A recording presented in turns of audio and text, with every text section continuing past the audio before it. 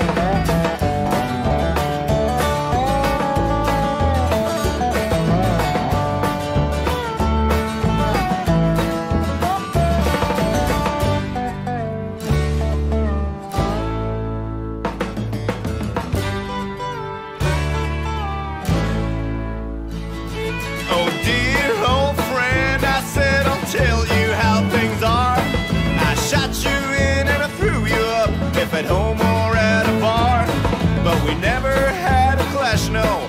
We became friends for life.